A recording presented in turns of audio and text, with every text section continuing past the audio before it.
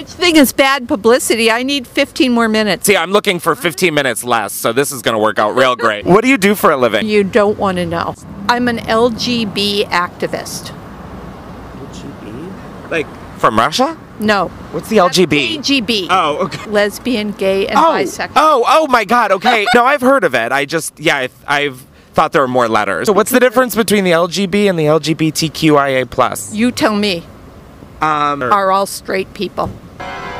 The woman was too stunned to speak. Anything to the right of the LGB is straight people. Didn't used to have any other letters. All of a sudden they decided it, it always had letters. No, it did not. hey, you're really against the letters. Well, no, the same sex attraction is one thing, and all those other letters are not about same sex attraction. There are three sexual orientations homosexual, heterosexual, and bisexual. LGB is about sexual orientation. The other letters have something the people could, in some backwards way or forwards way, be LGB, but it involves some other issue and agenda. Many agree with what I talk about on this channel about the importance of single sex spaces, of being able to freely talk about female experiences and female oppression, about the silliness of pretending that biological sex is not a real thing, or the unfairness of allowing men to identify as women and to access scholarships, jobs, and awards meant for women. And many more are unable or unwilling to say so aloud in their real lives out of fear of social retribution. These titties are more real than you would ever be. I got body. No man wants you. No man wants you.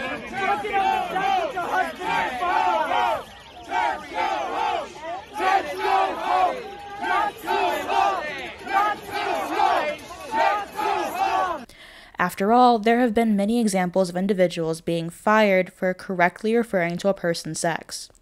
Perhaps the most famous example of this is Maya Forstater, who as of last year was finally recognized for being unfairly fired for referring to a non binary identified man as he. A Texas teacher is fighting back after being fired following her refusal to identify a six year old girl as a boy. The six year old is transgendered. Dale Hurd is on this story. We should be able to stand up for our rights without getting terminated for it. Lawyers for a Texas teacher have filed a federal discrimination lawsuit after she says she was fired for refusing to address a six year old girl as a transgender boy. Madeline Kirksey and co-worker Akeisha Wyatt say a six-year-old girl came to the Children's Lighthouse Learning Center in Katy, Texas, wanting to be called a boy. The child's same-sex parents presented her as transgender. I took a stance, first off, because of my beliefs.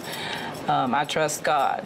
Um, and secondly, I stood up for the protection of all the children, not just the one. I just want to stand up for the, my rights also. And what is what's right is right and what's wrong is wrong. The teachers say the child seemed confused about her gender, at times claiming she was a girl and using the girls' restroom. Their attorney filed a complaint on the basis of their religious beliefs, race, age, and gender. A spokesman for the Children's Lighthouse Learning Centers told TV station KTRK via iPhone that he believes this is simply part of a bigger national agenda on transgender rights. In 2015, two Texas daycare teachers were fired for misgendering a preschool student and raising concerns about the confusion the student's often changing gender identity caused for other students.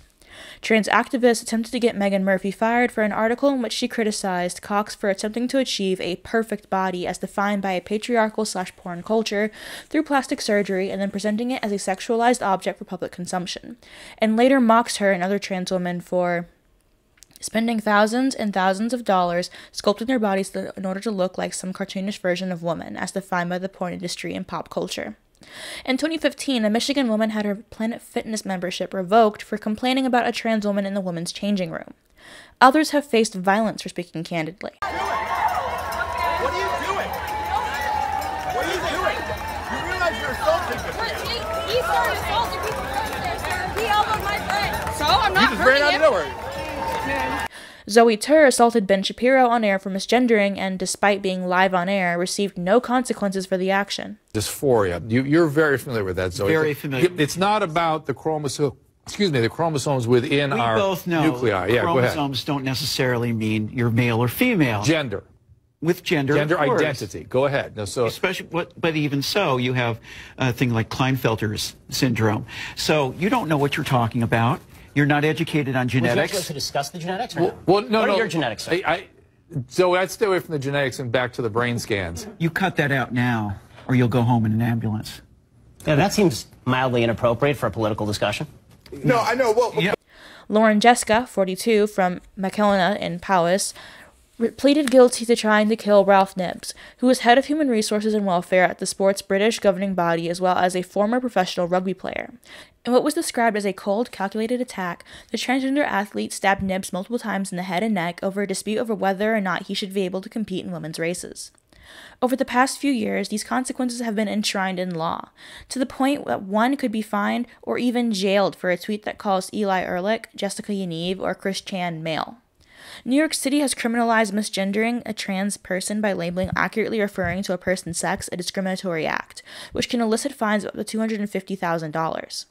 According to the new guidelines, the Commission can impose civil penalties of up to $125,000 for violations of the law and, in extreme circumstances, of up to $250,000 for violations that are a result of quote unquote willful, wanton, or malicious conduct.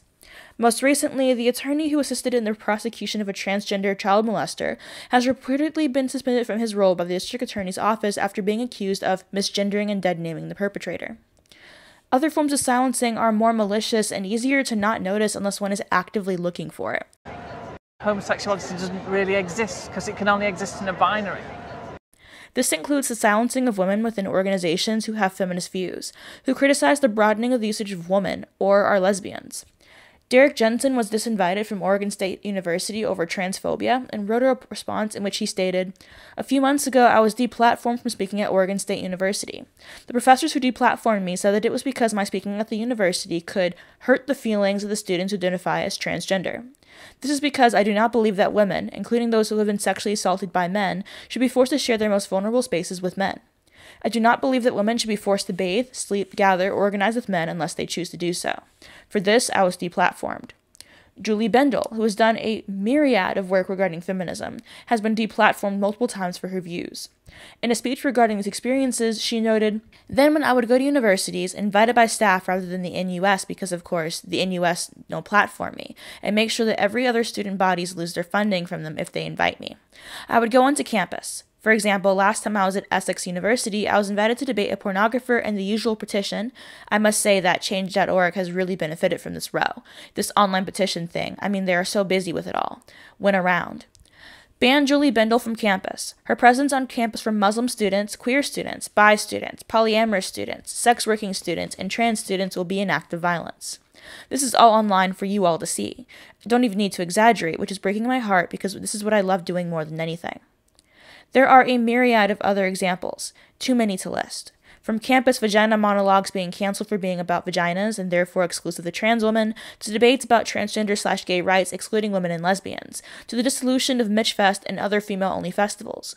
Those who accurately report on trans issues, namely by noting that biological sex is real and immutable, have been punished and silenced for doing so. And yet, you'll note that there have been no similar punishments for the hateful and violent speech used against those who disagree with gender ideology. This, of course, is not always directed at women or lesbians, but rather anyone with concerns about the conflation of gender with stereotypes, which in turn can include conservatives, liberals, and regular men and women. Truly, it impacts anyone who is still willing to stand by logic and fact that there are only two sexes, two zygotes, ova and sperm, and only two genders, which in turn reflect the roles and expectations placed upon them. It seems as if the concept of free speech itself is under fire, and more so, science itself. The use of social media and groupthink to spread misinformation and to discourage individual or critical thought is why people like JKR are so easily vilified. Few can actually name what she supposedly said that was transphobic, and when one actually reads the tweets, they are surprisingly tame. Similar to the future that 1984 predicted and hoped to warn against, we are living in a society in which one must agree that 2 plus 2 equals 5 or else face punishment from within our social circles, from our jobs and colleges, and even from the law. If it were true that trans identified individuals were a minority in need of protection, who face undue punishment and hatred and are in need of help, then why are they the ones who determine how women talk about their oppression and experiences? Here's my controversial take of the day that nobody asked for, but I just feel so strongly about this. This is absolutely no hate to the person that I'm stitching right now because I totally agree with everything that she said, okay? And y'all can go watch her video if y'all would like to because she made a lot of good points. I came up here to give the more ratchet version of what she said, okay? I always find it interesting that I never see women who transition into men do this to naturally born men. I never see them tell men, like, oh, you can't call cologne men's body spray. You can't call boxers men's underwear. It's not Father's Day. You got to call it Parents' Day. I never see women who transition into men do that. It's always the men who transition into women who then feel the need to stomp all over naturally born women in order for their existence to be validated. So I might be canceled for saying this, but it don't seem like it's a trans problem. It seems like it's a man problem. But y'all don't fight me, because I know how you like to tussle, and I ain't had to fight a grown man since I was 15. Thank you. Why has the rest of the world bowed down to their preferred word usage, changing the way we speak to better help support their belief that sex can be changed and that gender is a matter of choice? Tears coming to my eyes because when did it become offensive to call yourself a freaking woman? Like, when did I. What memo did I miss? Why do I have to call myself a person with a uterus to not offend anyone? If you're a trans woman, you don't want to be called a he anymore. Okay, I'm good. I'm with y'all. But why do I have to call myself a cis woman or an AFAB to make anybody feel better? What? This is not free speech. This is coerced speech. We are being forced to adjust our language according to the whims of a so called minority with the threat of social ostracization, economic loss, and physical harm as punishment. We are being forced to lie, as this language obfuscates the nature of reality. Midwives are forced to use inclusive language to avoid hurting the feelings of men who will never experience childbirth, and for the small minority of trans identified females who carry a child to term. Women are forced to refer to themselves as cis, despite trans women by nature being a derivative of women born women. To the ladies that do not like to be referred to as a cisgender woman, Alright, don't come in my comments with no bullshit because I do like to tussle. Here's the example I got for you. You got coffee and you got decaffeinated. When you go to Starbucks, who says, Can I have a caffeinated coffee? No one. Why? Because coffee, without any other adjective added to it, because none is needed, is in its natural form, and its natural form is caffeinated.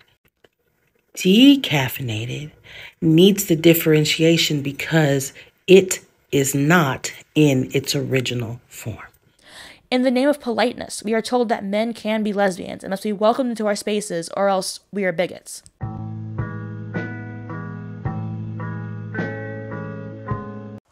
I know another trans girl made a post about this, but it's been bothering me, so I want to make a post about it.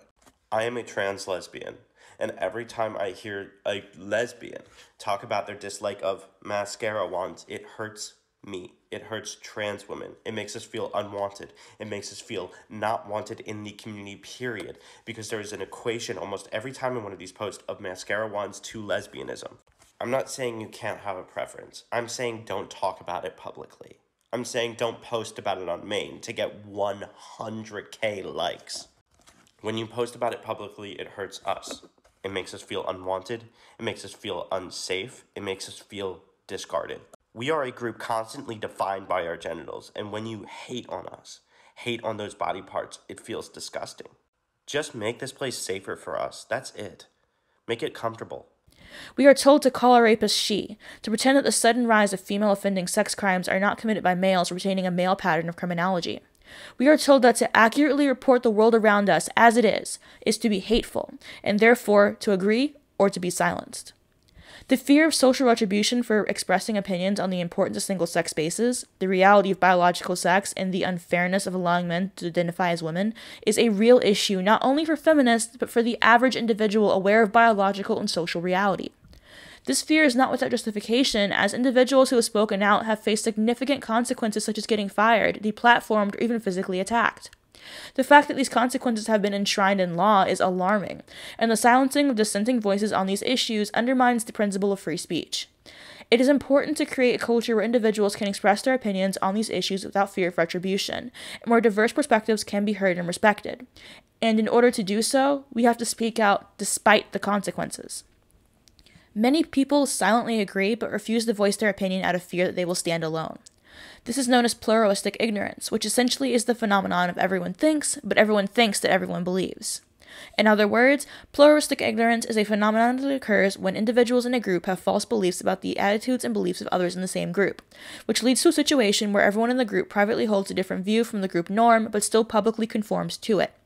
This can occur because individuals fear social attribution, disapproval, or ostracization from the group if they express a different view from the majority, even if they personally disagree. The only way to allow multiple opinions to be expressed is to express them and to break up the majority, creating an example for others to follow.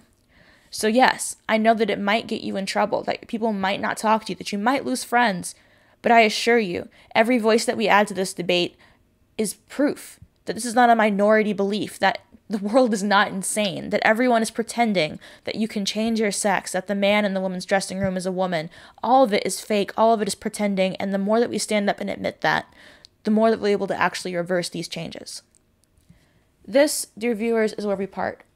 Please let me know what you think about this topic because pluralistic ignorance is an interesting topic to me specifically because of how it works in colleges. I mean, if you actually try to discuss feminism in college, you will get shut down immediately for claims of transphobia or misandry or whatever else they want to throw at you. But if you don't use the terms, if you use different language, if you dumb it down, people will immediately agree. And I think that goes to show that we all have a lot in common, but everyone's afraid of speaking their mind because is it worth being truthful when the consequences can be so dire? If you guys have any anything else to say about free speech, I know this is a vaguely American concept, but it, it's something that's come really under fire in the West in general, especially with how people are being impacted by just tweeting things that are disagreed with, but you're allowed to tweet other horrible things, such as violence against women, and that's completely fine under free speech. But the minute that you say a man cannot become a woman, you are a hateful bigot and deserve to be lynched. But um, yeah, this topic is one that I find very interesting. So if you have anything else to add, let me know, and I'll see you guys next time. Bye.